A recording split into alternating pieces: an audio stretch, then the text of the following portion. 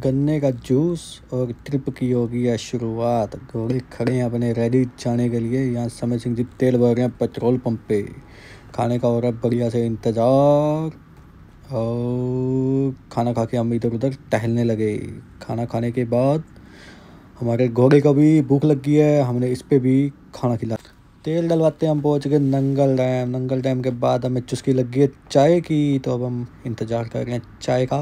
चाय पीते ही हम पहुँच गए, हमने ट्रैक्टर पे बैठे। विली मारी एक ट्रैक्टर पे बढ़िया सी, और विली मारते हम पहुँच गए माता रानी के दरबार। आपको बता दें कि हम इस ट्रिप पे आए हैं, माता रानी के दरबार चिंतपूर्णी।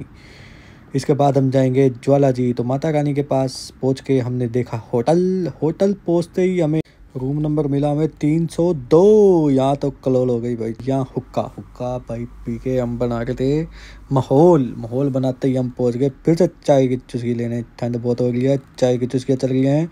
और अब ये समय सिंह भाई साहब हमें ज्ञान बांट रहे हैं दुनिया भर का। और ये है कटप्पा दी ग्रेट। आज इसकी शक्ल देख के हमें सोना पड़ेगा तो दोस्तों गुड नाइट